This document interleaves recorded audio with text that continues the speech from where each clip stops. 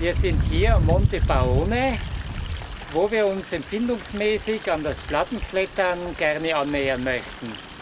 Die Platten des Monte Paone, wie wir sehen, erheben sich über den Olivengärten und bieten eben so Plattenkletterei über mehrere Seillängen.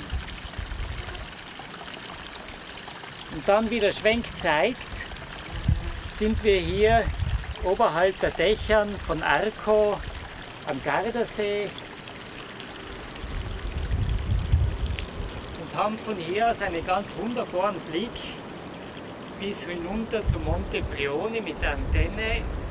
Und links ganz im Hintergrund den Monte Baldo bis hinaus diese Ebene des Gardasees und rechts wäre die Ortschaft Riva.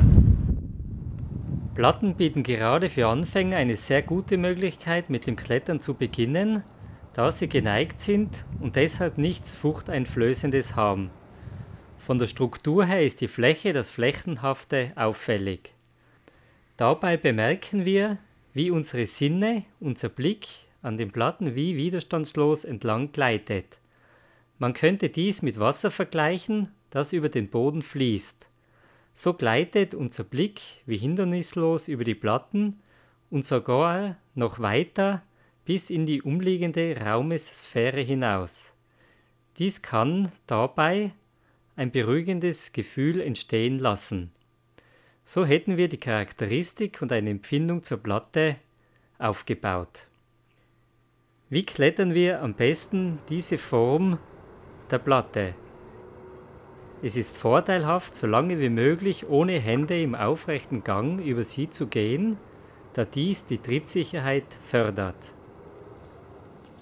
Es ist interessant, sich bewusst zu machen, wie wir im natürlichen aufrechten Gang in einer vertikalen Linie zum horizontalen Boden stehen. So kann das vielleicht schwer fassbare Bild, wie es im Kletterführer beschrieben ist, von Bewegung damit ist die Bewegung des Bodens gemeint und Gegenbewegung, damit ist unsere Aufrichtung gemeint, entstehen.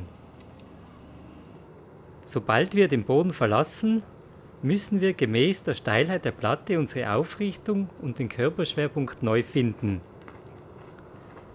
Die blaue Linie zeigt die vorgegebene Steilheit der Platte, die rote das vertikale Verhältnis des Kletterers dazu. Der Kletterer bringt sich in ein empfindsames Verhältnis zwischen vorgegebener Steilheit und seiner eigenen Aufrichtung. So kann man auch mehr Druck und Reibungsfläche auf die Sohlen der Kletterschuhe bringen. Die Fersen hängen tendenziell nach unten. Wenn wir uns im Gegensatz dazu wie eine Schlange kriechend oder krabbelnd bewegen würden, wäre dies nicht nur ein unästhetisches Bild, sondern auch klettertechnisch ineffizient. Viel schöner ist es, wenn sich über die Dynamik der Beine die Wirbelsäule aufrichtet und sich das Haupt erhebt.